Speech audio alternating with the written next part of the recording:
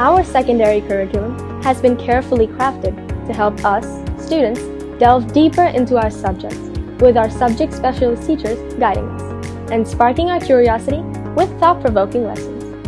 We're lucky to have an amazing extracurricular activity program that enriches our school experience. What's great is that every step of this journey has been thoughtfully planned out, making for smooth transitions as we progress through the school.